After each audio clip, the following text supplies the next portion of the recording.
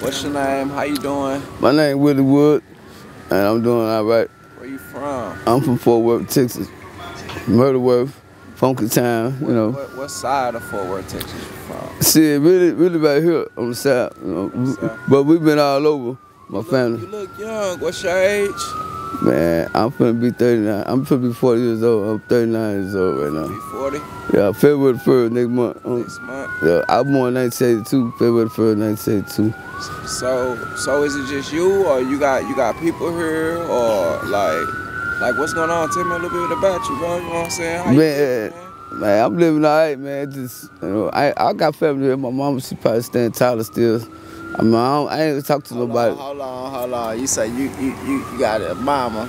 You say she she probably living in Tyler, so which means what you ain't you ain't heard from her? Nah, or nah, what's going on? nah. I ain't talked to her in about four, five years. For five years, that, that's kind of tough, not to, you know what I'm saying. But we go we gonna get back into that though. You know what I'm saying? Tell me a little bit more about you though. Man, that, man, really, really, I'm just normal, normal guy, man. You know, I'm, I'm laid back, man. You know what I'm saying? I'm humble sometimes. You know what I Okay. I understand that part. I understand that part. Tell me more about your life situation though. Like, what got you to the situation that you're in now, bro? You know what I'm saying? I'm Like, talking about for drugs. as drugs, being Alcohol, outside, you know cigarette. Yeah, that type of thing. Like, what? what Well, first of all, I never did. I never did want to be hooked on drugs. I, I was part of the DARE program in school, and uh, you know the D-A-R-E program. And uh, we used to sing this song and say, "Dare to keep out drugs." I used to hate drugs, and I used to find out how much bacteria and how many uh, uh, chemicals and poisons they got in tobacco, cigarettes. I never wanted to smoke a cigarette. My mama would smoke Newports all the time. So one day I ended up sneaking and smoking one on the cool. That's how I ended up smoking the cigarettes.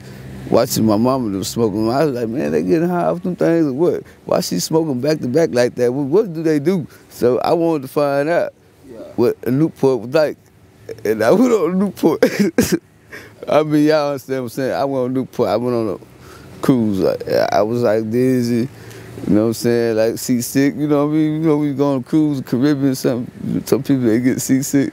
Hey, what, what, what? I, I see you explaining a lot about your mother and stuff. What, what about your father? You know what I'm saying? Man, I ain't talked to that. I ain't talked to that man in about, phew, about seven years. you Seven know. years. Yeah, me and him, we alright. You know what I'm saying? Y'all alright? Yeah, but we just, you know. How you how you fall off with the with the with the family like that, man? You know. I, hey, I didn't fall out. They fell out. Okay, well, but but they- the thing of it is, is that they don't. Okay, and see me, I got habits. You know what I'm talking about? yeah. and- what and- drove you to your habits? There we go. Now we getting there. What you mean? What, what what made you want to do what you doing that got y'all the way y'all are? I mean, y'all. I mean, y'all. As far as like, I'm not. Just, I'm just one person, one individual. But it's other people out here that that's you know what I'm saying addicted so to the same. basically, you no, we're not talking about nobody. We're gonna stay on you. We're gonna stay all the way on you. So basically, like, Well, I basically ain't know y'all, but yeah, the, what got me hooked was wanting to know. You know what I'm saying? Like curious George, nigga. I was just curious. You know what I'm saying? Uh, uh, uh, like motherfucking Bill Nye the Science Guy. I wanted to experiment with shit. now, what around what age did you did you start experimenting with? See, but we never, man, look, it wasn't me that wanted to. It It, it was my parents, okay, giving us, you know, you know, we was a baby man. Well, you know, us black people, we know. And, and you so you so quiet, but you you so curious. You want to know everything. So you know, my granny house where we lived there was pretty much like a gambling shack. That's where everybody came to gamble, play cards, and you know what I'm saying. They drank and and and, and, smoke and all types of cigarettes, weed, and What's whatever everything except for uh heroin, beer, everything that's that's you know what I'm saying that's pretty much normal to me, which is beer, uh, marijuana because it's coming from the earth, and cocaine because it's a plant too. I mean, it's just a little baking soda on it. It make it hard. I'm trying to crack. You know what I'm saying? It's just it's not, you know. So when was the first day you actually had crack cocaine? Well, I said about. I was 24. I don't. I can't remember what year. it was. I think it was like 2000. Uh, 2000 maybe. Uh, shit, one, some shit like that. 2002. How did that?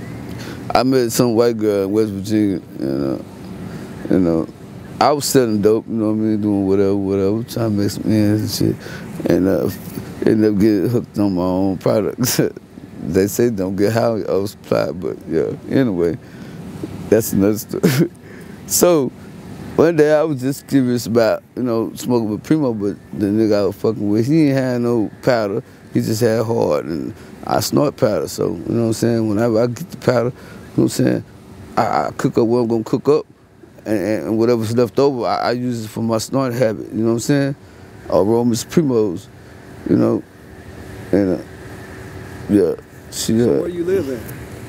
Where do you sleep at? Shit, wherever.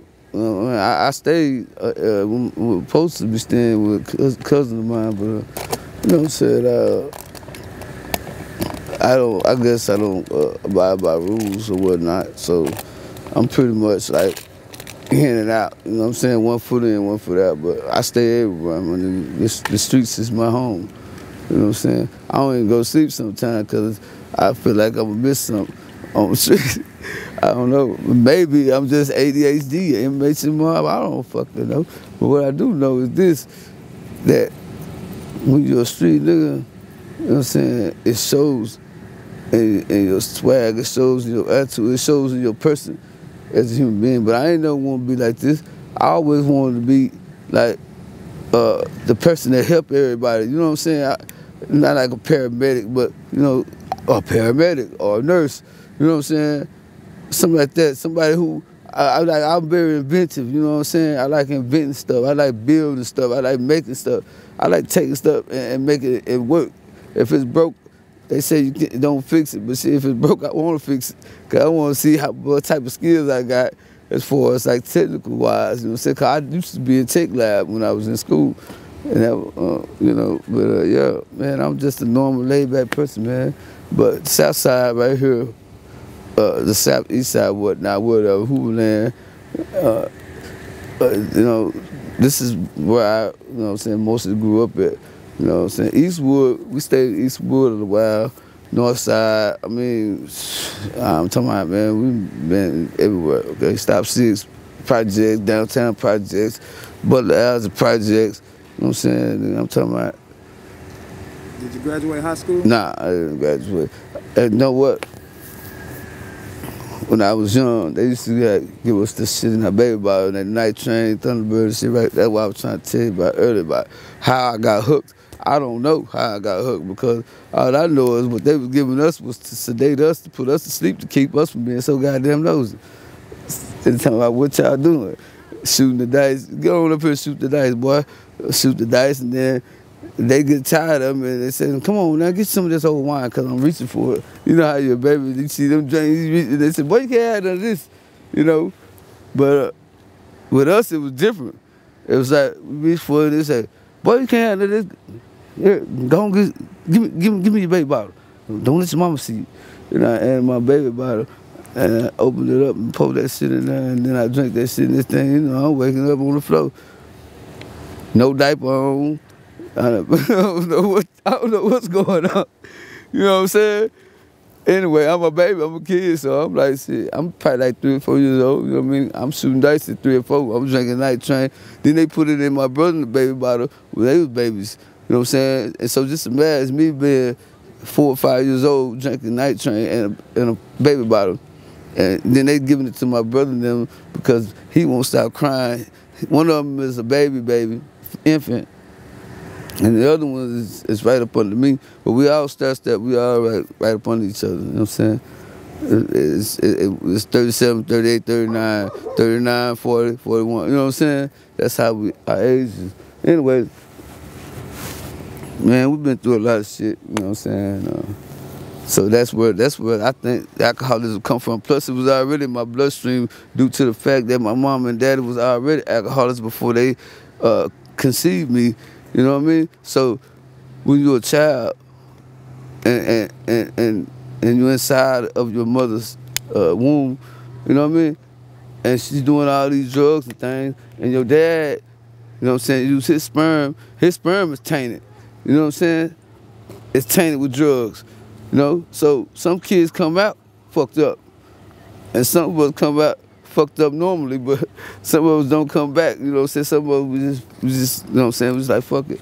But that ain't where I'm at. I don't, I don't really want. I could, man. I, I felt like I felt like I needed the numbness. I need to be numb to the to the to the, the fact that you know my family don't want to fuck with me because I do dope. So what? I'm still a fuck. I mean, I'm still a normal nigga, man. My mind might be altered, but I can still function on a normal human being type level and still talk and still have a normal conversation with people without, you know, uh, me uh, going into a, a spaz and spazzing out and all that. You know, I only do that when motherfuckers fuck they fucking with me. But other than that, I'm just I'm a cool laid back dude, man. I mind my business. I stay myself. I don't bother nobody. The motherfucker bother me.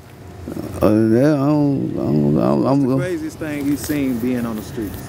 the craziest thing, me pick up a motherfucking possum up by his tail and throw him in the sewer. nah, that was crazy because everybody died. But but you should have seen when I snung his ass. He went right in the sewer drain. Boop, boop, boop, boop. but now, uh, really though, crazy, really, the really, really crazy thing, bro, I- is just seeing a nigga get shot for uh, in broad daylight in Berry Hill. You know what I'm saying? and uh, fucked me up. You know what I'm saying? Like, first time I ever seen some shit like that, and I just, I, I it fucked me up. You know what I'm saying? And and and then seeing people get shot, and shot at, then being shot at, and not being shot. You know what I'm saying? That comes, uh, but I wasn't no bad at like that. I just, I just steal cars and shit. I, I was a thief. That's why they came and got me. You know what I'm saying? I, I was a gangster thief. You know what I'm talking about? Fuck it. But anyway, uh, they turned me into a motherfucking menace when niggas try to punk me and try to fucking treat me like I'm a hoe because I let niggas get away with that shit, playing and shit. I don't really like to play because I, when I get playing, and then you ask them to throw one of them motherfuckers out there that they don't, and then you hit a motherfucker then they won't fight for real. You know what I'm saying? So I don't like to play. That's why I say I don't, I don't do none of that. Uh, uh, what they call that shit? Uh, fucking uh, uh, uh, play boxer and shit no more. None of that shit. Cause niggas nowadays all they want to do is they want to shoot you. When you get to busting his little body up and shit, you get hit them all up in the ribs and shit. 'Cause- and then they gonna want to fight for real. Do a normal day of Willie. What do Willie do on a normal day-to-day basis? Like Shit, hustle. for money. I hustle. They call it panhandling, but I call it poor man hustle. You know what I'm saying? It's not panhandling. What What is panhandling? I don't know. I don't even know what the fuck that word's supposed to mean. You know, panhandling, panhandling, whatever the fuck. it- I would have pancake. Fuck me. Fuck a panhandler. Take me through it, like yo. Man, I get up every day, man. I- I got money on my mind. I got I got work on my mind. You know what I'm saying? To make money. I, I, I got I got issues, shit that I go through when I wake up. Like, damn, man, how the fuck I'm gonna make it through the day, man? How I'm, how I become a millionaire today? You know what I'm saying? I just sometimes you want just just you know what I'm saying? Cause one thing I know, I ain't a dummy, but the motherfucker tell me I don't like to work. I love to work. I love to work, but you ain't gonna work me and then want to pay me crumb money because you feel like because I smoke dope that I can just accept anything and my motherfucker hard working uh, uh, muscles and using my strength and my motherfucker, uh, uh, you know what I'm saying? My work ethic just to help you and, and, and man, then you want to pay me crumb money because I ain't Mexican. I don't know. So basically, yo, yo, every like what you do. I understand you say you have money on your mind as soon as you wake up. Every day. What do you do to get the money? man, conversation. I'm a conversationalist, I, and that's just how I am. Know what I'm saying? I ain't saying I can talk to anybody out of anything. I'm just saying. I, I'm just saying. You know, slick to slick, smooth, smooth.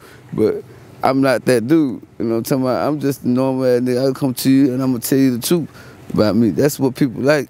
That's what gets me where I, where I want to come. I'm straight blunt. I, I tell you, man, I, I want a beer, man. Man, I'm trying to get some dope, man, and, and, and give me a. I'm trying to get me a hit and give me a, a, a beer up out of here.